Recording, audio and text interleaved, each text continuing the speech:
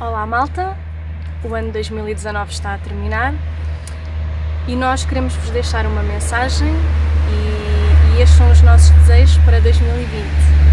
Portanto, sempre o mais importante, muita saúde, muito amor e que os vossos desejos profissionais, os vossos objetivos, os vossos projetos que funcionem bem e que toda a gente consiga ter o que sempre sonhou a nível profissional, a nível de, de ideias, a nível de tudo.